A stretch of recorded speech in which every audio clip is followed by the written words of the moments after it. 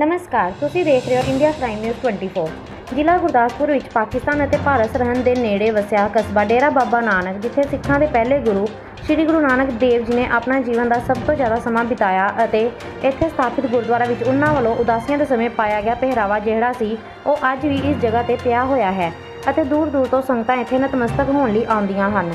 ਅਤੇ ਇੱਥੇ ਖਾਸ ਗੱਲ ਹੈ ਕਿ ਇਸ ਜਗ੍ਹਾ ਤੇ ਹਰ ਸਾਲ ਤਿੰਨ ਰੋਜ਼ਾ ਮੇਲਾ ਚੱਲਦਾ ਹੈ, ਜਿਹੜਾ ਕਿ ਚੋਲੇ ਮੇਲੇ ਦੇ ਨਾਂ ਤੋਂ ਮਸ਼ਹੂਰ ਹੈ। ਇਸ ਸਾਲ ਵੀ ਮੇਲੇ ਤੇ ਗੁਰਦੁਆਰਾ ਸਾਹਿਬ ਵਿੱਚ ਨਤਮਸਤਕ ਹੋਣ ਲਈ ਹਜ਼ਾਰਾਂ ਹੀ ਸੰਗਤਾਂ ਪਹੁੰਚ ਰਹੀਆਂ ਹਨ।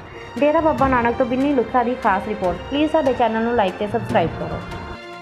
ਇੱਥੇ ਦਾ ਇਤਿਹਾਸ, ਜੋ ਚੋਲਾ ਸਾਹਿਬ ਜੀ ਦਾ ਇਤਿਹਾਸ ਹੈ, ਇਹ ਗੁਰੂ ਨਾਨਕ ਸਾਹਿਬ ਮਹਾਰਾਜ ਨੂੰ ਅਕਾਲਪੁਰ ਪਰਮੇਸ਼ਰ ਪਾਸੋਂ 6 ਵਸਤਾਂ ਪ੍ਰਾਪਤ ਹੋਈਆਂ ਸਨ, ਜਿਨ੍ਹਾਂ ਵਿੱਚੋਂ ਸੈਲੀ, ਟੋਪੀ, ਮਾਲਾ, ਪੋਥੀ, ਪੋਵੇ ਤੇ ਸ੍ਰੀ ਚੋਲਾ ਸਾਹਿਬ, ਜਿਨ੍ਹਾਂ ਵਿੱਚੋਂ ਪੰਜ ਵਸਤਾਂ ਜਿਹੜੀਆਂ ਗੁਰੂ ਨਾਨਕ ਸਾਹਿਬ ਦੀਆਂ ਨੇ, ਸੋਢੀ ਪਰਿਵਾਰ ਕੋਲ ਨੇ, ਸੈਲੀ, ਟੋਪੀ, ਕਿਰਤਪੁਰ ਸਾਹਿਬ, ਡਿਸਟ੍ਰਿਕਟ ਰੋਪੜ ਦੇ ਵਿੱਚ ਮਾਲਾ ਪੋਥੀ ਪਵੇ ਡਿਸਟ੍ਰਿਕਟ ਫਿਰੋਜ਼ਪੁਰ ਵਿੱਚ ਗੁਰੂ ਹਰਸਾਏ ਤੇ ਜਿਹੜੀ ਛੇਵੀਂ ਵਸਤਾ ਹੈ ਚੋਲਾ ਸਾਹਿਬ ਡੇਰਾ ਬਾਬਾ ਨਾਨਕ, ਗੁਰੂ ਨਾਨਕ ਸਾਹਿਬ ਦੇ ਪਰਿਵਾਰ ਕੋਲ ਹੈ।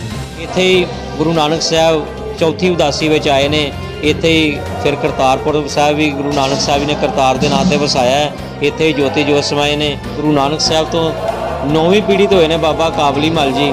ਉਹਨਾਂ ਨੂੰ ਗੁਰੂ ਨਾਨਕ ਸਾਹਿਬ ਦਰਸ਼ਨ ਹੋਏ ਨੇ। ਸਾਡੇ ਅੰਗ ਦੇ ਬਸਤਰ ਨੇ ਬਲਕ ਬੁਖਾਰੋਂ, ਉਥੋਂ ਲੈ ਕੇ ਆਓ ਤੇ ਸੰਗਤਾਂ ਨੂੰ ਦਰਸ਼ਨ ਕਰਾਇਆ ਕਰੋ।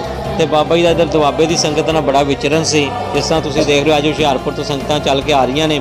ਇੱਧਰ ਦੀ ਸੰਗਤ ਨੂੰ ਵੀ ਕਿਹਾ ਵੀ ਅਸੀਂ ਬਲਕ ਬੁਖਾਰੇ ਜਾ ਰਹੇ ਹਾਂ ਤੇ ਉੱਥੇ ਅਸੀਂ ਜਾ ਰਹੇ ਹਾਂ ਤੇ ਤੁਸੀਂ ਵੀ ਇਧਰੋਂ ਦੀ ਇੱਧਰ ਦਰਸ਼ਨ ਕਰਨ ਆਓ ਤੇ ਆਪਾਂ ਉੱਥੇ ਚੋਲਾ ਲੈਣ ਜਾ ਰਹੇ ਹਾਂ। ਉਹ ਫਿਰ ਉੱਥੇ ਜਦੋਂ ਪਹੁੰਚੇ, ਵੇਖਿਆ ਪੱਥਰ ਨਾਟੇ ਫਿਰ ਸਾਰੀ ਸੰਗਤ ਉੱਥੇ ਰਾਤ ਠਹਿਰੀ। ਗੁਰੂ ਨਾਨਕ ਸਾਹਿਬ ਮਹਾਰਾਜ ਨੇ ਹੁਕਮ ਕੀਤਾ ਉਹਨਾਂ ਨੂੰ ਕਿ ਪੰਜ ਜਪਜੀ ਸਾਹਿਬ ਦੇ ਪਾਠ ਕਰੋ, ਪੰਜ ਛਿੱਟੇ ਜਲ ਦੇ ਕਰੋ, ਅਰਦਾਸ ਕਰੋ, ਕਰਤਾਰ ਭਲੀ ਕਰੇਗਾ। ਉਹਨਾਂ ਨੂੰ ਜਿਸ ਤਰ੍ਹਾਂ ਜਿਸ ਤਰ੍ਹਾਂ ਹੁਕਮ ਹੈ ਉਹਨਾਂ ਨੇ ਉਸ ਤਰ੍ਹਾਂ ਉਸ ਤਰ੍ਹਾਂ ਕੀਤਾ।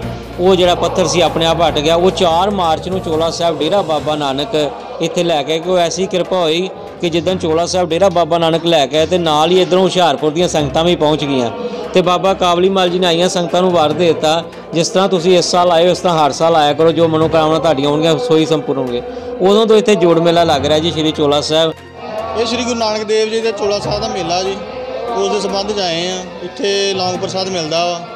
ਤੇ ਪੁੱਤਰ ਦਾਤ ਪੂਰੀ ਹੁੰਦੀ ਹੈ, ਉਹਦੇ ਵਾਸਤੇ ਆਏ ਹਾਂ।